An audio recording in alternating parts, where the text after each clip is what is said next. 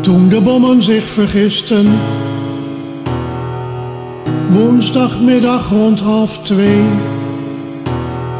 op die laatste dag van maart, maakte zij de hel niet mee. Toen ze smiddags weer bereikte, wat ze ochtends vroeg verliet,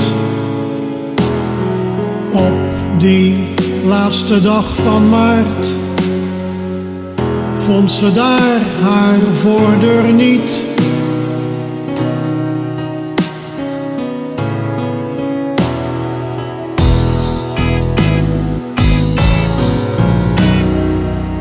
Toen de rook was weggetrokken,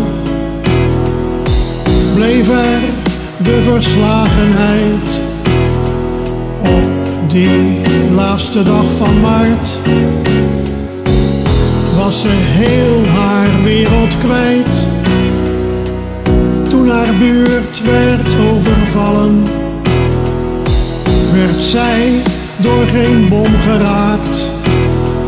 Op die laatste dag van maart werd haar jeugd kapot gemaakt. Moeder was nog niet mijn moeder. Ik werd later pas geboren.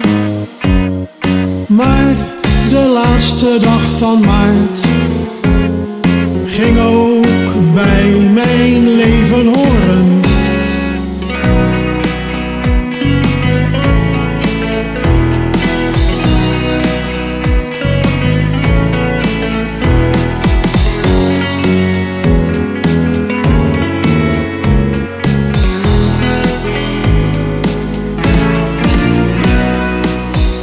Dus vanaf mijn kinderjaren raakte ik eraan gewend dat de laatste dag van maart er een was vol sentiment.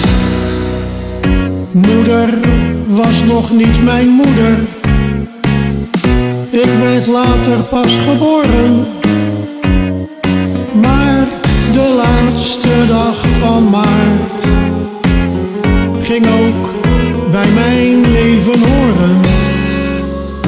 Ook al had ik heel veel vragen, ik kwam niets van haar te weten.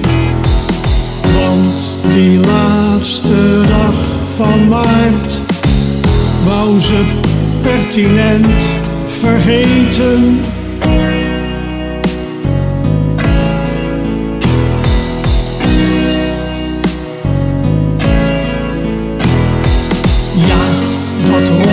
Rotbombardement